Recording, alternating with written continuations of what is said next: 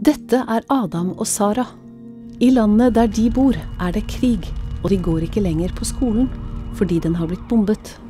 Men alle barn og unge har rett til å gå på skole og studere selv om det er krig. Og de som kriger, har plikt til å beskytte sivile personer. Internasjonale lover og regler sier klart og tydelig at det er strengt forbudt å skade mennesker som ikke deltar aktivt i en krig.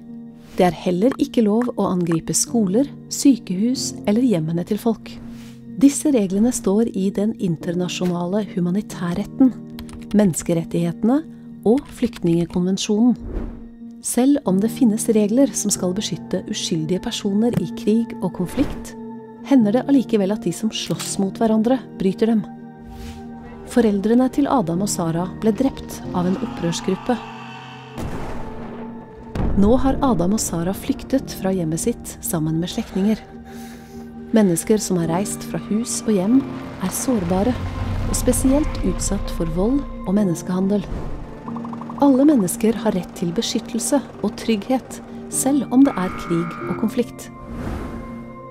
Når Norge sitter i Sikkerhetsrådet i 2021 og 2022, jobber vi for at uskyldige personer skal få bedre beskyttelse i kriger og konflikter.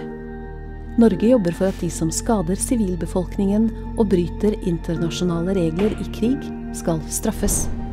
Norge vil også at beskyttelse av sivile skal være nevnt i Sikkerhetsrådets resolusjoner. FNs medlemsland har plikt til å følge det Sikkerhetsrådet bestemmer. F.eks. kan Sikkerhetsrådet bestemme at det er ulovlig å handle med opprørsgrupper som skader uskyldige mennesker. I Sikkerhetsrådet vil Norge arbeide for at skoler og universiteter skal være et trygt sted for elever og lærere, selv om det er krig. Norge leder arbeidsgruppen for barn og væpnet konflikt.